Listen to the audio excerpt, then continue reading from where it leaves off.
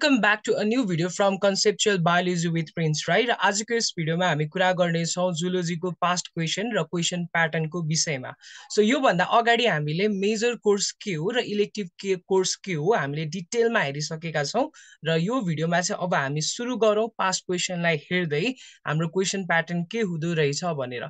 So यदि तपाईँले अगाडिको सिलेबसको भिडियो हेरिसक्नु भएको छैन भने त्यो सिलेबसको भिडियो माथिको आई बटनमा क्लिक गरिकन हेर्न सक्नुहुनेछ। आउनुहोस् अब यो भिडियोमा हामी सुरु गरौँ टु थाउजन्ड सेभेन्टी एटमा तपाईँहरूलाई दिएको क्वेसनबाट। सो जेनरली तपाईँहरूलाई group A group B group C र ग्रुप डी गरिकन चारवटा ग्रुपमा चाहिँ क्वेसन बाँडिएको हुन्छ जुलोजीको जब हामी मेजर कोर्सको कुरा गर्छौँ।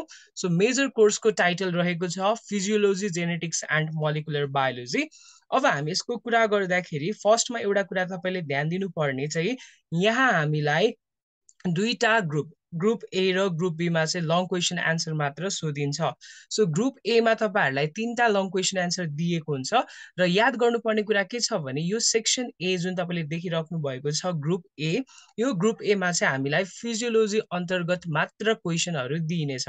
सो तपाईँहरूले कुनै पनि फिजियोलोजीको पोर्सनलाई स्केप गर्नुभयो भने तपाईँले यो वान टू थ्री नम्बरमा आउने ग्रुप ए अथवा सेक्सन ए अन्तर्गतका क्वेसनहरूलाई सल्भ गर्न सक्नुहुने छैन। त्यही भएर तपाईँहरूले फिजियोलोजी चाहिँ राम्रोसँग पढ्नुपर्ने हुन्छ। To solve the group A यहाँ मध्ये तपाईँले दुईवटा क्वेसन एटेम्प्ट गर्नुपर्ने हुन्छ।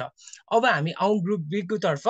ग्रुप बीमा पनि तपाईँहरूलाई जम्मा जम्मी क्वेसन दिइने भनेको तिनवटा नै हो।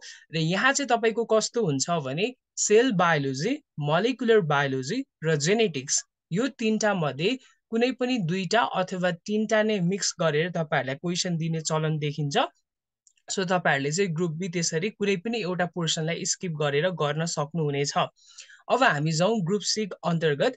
ग्रुप सीमा चाहिँ तपाईँहरूलाई जम्मा जम्मी दसवटा क्वेसन दिइनेछ र यो चाहिँ हामीले सर्ट एन्सरको क्याटेगोरीभित्र राख्छौँ ग्रुप सीलाई भने अगाडिको जुन हामीले सेक्सन ए अथवा ग्रुप ए र ग्रुप बी हेऱ्यौँ हामी त्यसलाई चाहिँ लङ क्वेसन एन्सरको क्याटेगोरीभित्र राख्दछौँ। सो जब हामी यो ग्रुप सीलाई हेर्दछौँ हामीलाई दसवटा क्वेसन मध्ये हामीले आठवटा मात्र सल्भ गर्नुपर्ने हुन्छ। And as question carry five marks so eight into five गरेर फोर्टी मार्क्स भयो र ग्रुप एबाट ट्वेन्टी मार्क्स र ग्रुप बीबाट ट्वेन्टी मार्क्स गरेर अहिलेसम्म जम्मा जम्मी हामीले एट्टी मार्क्सको लगभग क्वेसनलाई हेरिसकेका छौँ। र जब हामी अब ग्रुप डीतर्फ जान्छौँ ग्रुप डीमा पनि हामीलाई दिएको क्वेसन्सहरू जम्मा दसवटा मात्र हुनेछ जस अन्तर्गत हामीले आठवटा क्वेसन चाहिँ सल्भ गर्नुपर्ने हुन्छ र यसलाई चाहिँ हामीले भेरी सर्ट एन्सर को क्याटेगोरीभित्र राख्दछौँ र each question will carry two point five marks so यसरी तपाईँको ट्वेन्टी मार्क्स चाहिँ ग्रुप बीबाट हुनेछ. सो ओभरअल अघि हामीले ग्रुप सीसम्म एट्टी गरेका थियौँ र अब ग्रुप डीमा चाहिँ ट्वेन्टी भएको हुनाले तपाईँको eighty plus twenty is equal to hundred मार्क्सको total theory exam तपाईँले आफ्नो major course that is under the zoology code तपाईँहरूको Z O L three zero one यस अन्तर्गत तपाईँहरूले दिनुपर्ने हुन्छ। सो यहाँ क्वेसन्सहरू तपाईँले देख्न सक्नुहुन्छ। टु थाउजन्ड सेभेन्टी सेभेन अनि टु थाउजन्ड सेभेन्टी सिक्स सबैको राखिदिएको छु मैले। तपाईँहरूले यो जुन क्वेसन्सहरूको चाहिँ पिडिएफ एक्सेस गर्नको लागि भिडियोको तल रहेको डिस्क्रिप्सन बक्सबाट तपाईँले मजासँग एक्सेस गर्न सक्नुहुनेछ।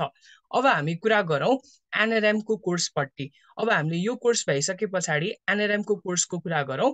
सो एनआरएममा चाहिँ हामीले जेनरली ज जसले तपाईँहरूले अगाडिको भिडियो हेरिसक्नु भएको छैन त्यो भिडियोबाट हेर्न सक्नुहुन्छ। जेनरली हामीसँग दुईवटा कोर्स रहेको छ इलेक्टिभमा चाहिँ।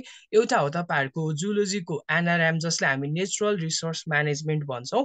र अर्को कोर्स पनि तपाईँको रहेको हुन्छ जसलाई हामी बायो इन्फर्मेटिक्स भन्छौँ। सो यो भिडियोमा चाहिँ हामी आज जुलोजीको एउटा elective that is Z O L dot three zero three यसको कोड रहेको छ। हामी नेचुरल रिसोर्स म्यानेजमेन्टको मात्र कुरा गर्नेछौँ। सो यहाँ तपाईँले इन्टायर सिलेबस देख्न सक्नुहुन्छ। यो चाहिँ तपाईँको फुल मार्क्स फिफ्टीको हुनेछ भने यहाँ मध्ये तपाईँले नाइनवटा युनिटहरू मजासँग देख्न सक्नुहुनेछ जुन अगाडिको भिडियोमा पनि हामीले डिस्कस गरिसकेका छौँ। सो यो नाइनवटा युनिट मात्र रहेको छ र यहाँबाटै तपाईँको long question answer short question answer र भेरी सर्ट क्वेसन एन्सरहरू आउनेछ। ओके सो यहाँ अब हामी कुरा गरौँ यसको विषयमा। सो जब हामी क्वेसन प्याटर्न हेर्छौँ Tribhuvan university two thousand seventy एटको नै हामीले कुरा गरौँ। अगाडि जुन हाम्रो सिनियरहरूले दिनुभएको इक्जामको नै सो हामीले कोर्स टाइटलको कुरा गर्दाखेरि हामी जेनरली एनआरएम नै भन्छौँ नेचुरल रिसोर्स म्यानेजमेन्ट यहाँ चाहिँ हामीलाई दिएको छ सेक्सन ए अथवा ग्रुप ए सो यहाँबाट पनि तपाईँले तिनवटा क्वेसन प्राप्त गर्नुहुनेछ जसमध्ये तपाईँले दुईवटा क्वेसन चाहिँ एटेम्प गर्नुपर्ने हुन्छ। यसको मतलब तपाईँलाई सेक्सन ए अथवा ग्रुप एमा चुजिङ अप्सन रहेछ। एउटा कुनै पनि युनिट तपाईँले पढ्न छोड्न सक्नुहुनेछ। तर पनि यहाँ के समस्या हुनसक्छ भने तपाईँको जेनरली युनिट वानदेखि युनिट नाइन जुनसुकै त्यो नौवटा युनिट मध्ये जुनसुकै युनिटबाट पनि तपाईँको तिनवटा क्वेसन ग्रुप एमा आउन सक्नेछ। त्यही भएर तपाईँले सकेसम्म त युनिट वानदेखि युनिट नाइन सबै पढ्नु पर्ने हुन्छ। जुन युनिट मैले तपाईँहरूलाई माथि देखाइसकेको छु हेर्न सक्नुहुन्छ यहाँ। Introduction to natural resource management water resource land resource mineral resource mountain resource biodiversity resource forest resource अनि इनर्जी रिसोर्स अनि अर्को छ natural resource management in the context of climate change so यी नौवटा युनिटहरूमध्ये कुनै पनि युनिटबाट तपाईँलाई तिनवटा जुन सेलेक्सन भएर आएको युनिटहरू छ त्यहाँबाट चाहिँ क्वेसन आउने भयो ग्रुप एमा लङ क्वेसन एन्सरको लागि?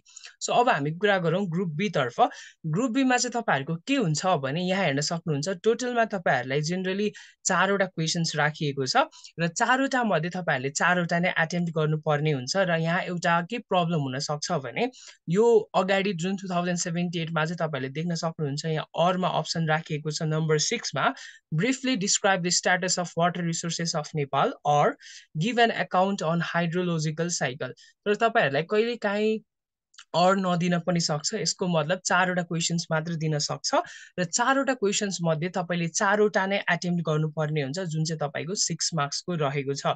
So long question answer ten मार्क्सको रहन्छ भने तपाईँहरूले ग्रुप बीमा एउटा नौलो खालको क्वेसन प्याटर्न भेट्नुहुनेछ जुन फर्स्ट इयर सेकेन्ड इयरमा हामीले गरेका छैनौँ। That is each question carrying six marks so चारवटा question six marks is equal to twenty four अगाडि हामीले ट्वेन्टी गऱ्यौँ र यहाँ ट्वेन्टी फोर भयो। टोटलमा तपाईँको फोर्टी फोर भयो। अब हामी ग्रुप सीतर्फ लागौँ जुन चाहिँ हाम्रो भेरी सर्ट क्वेसन एन्सरको सेक्सन हो यहाँ चाहिँ हामीलाई पाँचवटा क्वेसन दिएको हुन्छ र हामीले दुईवटा क्वेसन छोड्न सक्छौँ। यसको मतलब हामीले तिनवटा क्वेसन चाहिँ एटेम्प गर्नु पर्ने रहेछ। Each carrying two marks so तपाईँको थ्री इन्टु टू भयो सिक्स सो टोटल अघि हामीले जति गरेका थियौँ फोर्टी फोर अब फोर्टी फोर प्लस सिक्स हामीले सेक्सन सीको लागि जोड्दाखेरि हाम्रो टोटलमा फिफ्टी मार्क्सको क्वेसन यहाँ बन्न जान्छ। सो तपाईँहरूले model question two thousand seventy five त्यसै गरी टु थाउजन्ड सेभेन्टी सिक्स अनि त्यसै गरी टु थाउजन्ड सेभेन्टी सेभेनको क्वेसन भिडियोको डिस्क्रिप्सनको लिङ्कमा पाउनुहुनेछ तपाईँले त्यहाँबाट यी क्वेसन्सहरूलाई एक्सेस भने गर्न सक्नुहुनेछ। अब यो जुन कुराहरू मैले तपाईँहरूलाई भनेको छु तपाईँहरूले यो कुरालाई चाहिँ आफूले नोट डाउन गरेर गर्न सक्नुहुन्छ। त्यसमा तपाईँहरूले आफै पनि मजासँग कहाँबाट कस्तो कस्तो क्वेसन्सहरू आउँदो रहेछ भन्ने कुरा तपाईँले हेर्न सक्नुहुन्छ। तपाईँहरूले डाइनामिकको सल्युसन बुक किन्नुभयो भने डाइनामिकको सल्यु सल्युसन बुकमा चाहिँ तपाईँहरूको जेनरली दिएको छ कुन च्याप्टरबाट कति मार्क्सको हो भनेर जेनरली तपाईँले इभ्यालुएसन आफै पनि गर्न सक्नुहुन्छ। किनभने स्पेसिफिकली त्यहाँ च्याप्टर नेमहरू मेन्सन गरिएको छ कुन क्वेसन कुन च्याप्टरबाट हो अथवा युनिटबाट हो भनेर। अब हामी एट अ ग्लान्स सबैको कुरा गरौँ। तपाईँले जुन यहाँ देखिराख्नु भएको छ जुलोजीको क्वेसन प्याटर्न कस्तो हुँदो रहेछ भनेर। सो जेनरली तपाईँहरूको मेजर कोर्सको कुरा गर्नुहुन्छ भने तपाईँको हन्ड्रेड मार्क्सको क्वेसन हुनेछ भने इलेक्टिभ कोर्सको कुरा गर्नुहुन्छ भने तपाईँको फिफ्टी मार्क्सको त्यही भएर तपाईँले ओभरअल जुलोजीको थर्ड इयरमा एक्जाम दिनुपर्ने हुन्छ। Theoretical one hundred fifty marks plus तपाईँले फिफ्टी मार्क्सको प्र्याक्टिकल एक्जाम दिनुपर्ने हुन्छ। यसको मतलब तपाईँले two hundred मार्क्सको exam practical plus theory theory plus practical जुलोजीको exam दिनुपर्ने हुन्छ। अब हामी कुरा गरौँ मेजर जुलोजीको एट अ ग्लान्स कस्तो कस्तो रहेछ हामीले भर्खरै कुरा गरेको भनेर। सो ग्रुप एमा तपाईँको तिनवटा क्वेसन्स तपाईँले दुईवटा एटेम्प गर्नुपर्ने हुन्छ टु इन्टु टेन भनेको ट्वेन्टी भयो। र यहाँबाट तपाईँको फिजियोलोजीभित्रको मात्र क्वेसन सोधिनेछ भने ग्रुप बीमा चाहिँ तिनवटा क्वेसन दुईवटा attempt same as group A र यहाँ चाहिँ तपाईँको के हुन्छ त cell and molecular biology plus जेनेटिक्सबाट question सोधिएको छ। र ग्रुप सीमा चाहिँ हामी दसवटा क्वेसन पाउँछौँ जसमध्ये हामीले आठवटा एटेम्प गर्नुपर्ने हुन्छ each carrying five marks so total marks is forty र group D very short question एन्सरको सेक्सनमा हेर्छौँ भने टेन मार्क्स सरी टेनवटा क्वेसन्स हुन्छ आठवटा एटेम्प गर्नुपर्ने हुन्छ is carrying two point five marks and eight into two point five is equal to twenty so overall तपाईँले एड गर्नुभयो भने हन्ड्रेड मार्क्स पाउनुहुनेछ र अब हामी कुरा गरौँ इलेक्टिभ जुलोजीको अनि इलेक्टिभ जुलोजी तपाईँको फिफ्थ मार्क्सको रहेको छ एनआरएम मैले यहाँ बायो इन्फर्मेटिक्सको कुरा गरेको छुइनँ। बायो इन्फर्मेटिक्सको पनि तपाईँले हेर्न सक्नुहुन्छ फिफ्टी मार्क्स पनि यही प्याटर्नमा क्वेसनहरू आएको छ। सो तिनवटा क्वेसन्स हुन्छ ग्रुप एमा दुईवटा एटेम्प गर्नुपर्ने हुन्छ two into ten is equal to twenty so group बीमा तपाईँहरूको चारवटा क्वेसन हुन्छ चारवटा एटेम्प गर्नुपर्ने हुन्छ। चारवटा क्वेसन मध्ये कुनै पनि एउटा क्वेसनलाई चाहिँ जस्तै तपाईँले नम्बर सिक्सको क्वेसन अघि जसरी हामीले हेऱ्यौँ नम्बर सिक्सको एउटा क्वेसन दिएको हुन्छ फेरि अर दिएर अर्को क्वेसन दिन सक्ने प्रोभेबल चान्स हामीलाई हुनसक्छ जेनरली चारवटा मध्ये चारवटा नै एटेम्प गर्नुपर्ने हुन्छ। सो त्यो कन्डिसनमा मैले नो चोइस लेखेको छु। र ग्रुप सीमा हाम्रो जुन भेरी सर्ट एन्सर क्वेसनको सेक्सन रहेको छ यसबाट हामीलाई सोधिने पाँचवटा क्वेसन हो र त्यहाँबाट हामीले तिनवटा क्वेसन मात्र एटेम्प गर्नुपर्ने हुन्छ र जसको marks three into two is equal two six रहेको छ र सबैले जोड्दाखेरि टोटलमा हाम्रो फिफ्टी मार्क्स रहेको देखिन सकिन्छ।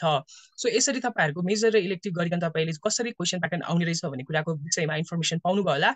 यदि यो भिडियो तपाईँलाई फ्रुटफुल लाग्छ भने आफ्नो साथीभाइहरूसँग सेयर गर्नुहोला र यो पछाडि हामी यदि तपाईँलाई चाहिन्छ भने अरू सब्जेक्टको पनि क्वेसन प्याटर्न डिस्कस गर्नेछौँ।